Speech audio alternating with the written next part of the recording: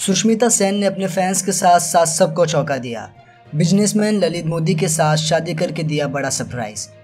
बॉलीवुड में miss universe बनने के बाद अपना नाम जमाने वाली सुष्मिता सेन 40 के पार होने के बाद भी अब तक कुंवारी थी और फैंस उनकी शादी का बेसब्री से इंतज़ार भी कर रहे थे।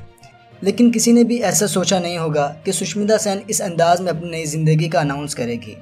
जी हाँ सुष्मिता सेन और इंडिया के बिजनेसमैन ललित मोदी ने चोरी छुपे शादी कर ली है और इसकी जानकारी खुद आईपीएल के फाउंडर ललित मोदी ने दी है, जिन्होंने अपने इंस्टाग्राम अकाउंट पर एक तस्वीर को शेयर करते हुए एक पोस्ट लिखा है और यह बड़ी खुशखबरी दी है, जिनमें उन्होंने लिखा है कि मालदीव देश के टूर के बाद फैमिली के साथ लंदन में वापस, लेकिन इस बार मैं अपने पार्टनर यानी कि वाइफ सुष्मिता सेन के साथ एक नई जर्नी शुरू करने जा रहा हूँ। यह पोस्ट डाल के ललित मोदी ने सबको चौंका दिया है। बता दें कि ललित मोदी पहले से ही सुष्मिता के बड़े फ़ैन रहे हैं। लेकिन फाइनली छप्पन साल की उम्र में ललित मोदी ने 40 वर्ष की सुष्मिता सेन के साथ शादी कर दी है।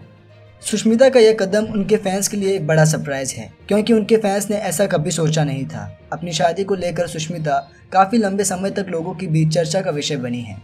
लेकिन अब फाइनली सुष्मिता किसी की पत्नी बन चुकी है। और अब उनके फैंस ललित मोदी और सुष्मिता सेन को ढेरों बधाइयाँ दे रहे हैं। हम भी सुष्मिता सेन को शादी की मुबारक देते हैं। तो दोस्तों, आप क्या कहना चाहोगे इस खबर पर? अपनी प्रतिक्रिया हमें कमेंट में ज़रूर बताएँ।